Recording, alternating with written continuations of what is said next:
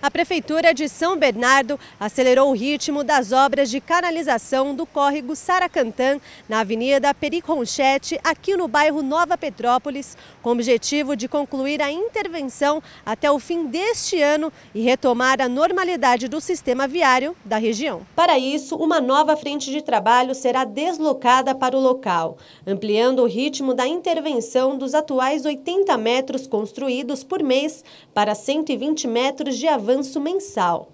A meta foi traçada durante vistoria realizada em trecho do córrego. A obra, que possui 1.500 metros de extensão, ligando os bairros Vila São Pedro, Parque São Bernardo, Vila Mariana e Baeta Neves ao centro, integra o programa de combate a enchentes. Além da canalização, o projeto também envolve adequação do sistema viário, além de implantação de ciclofaixas em um dos braços do córrego. Roberta Rossi para o TV Mais News.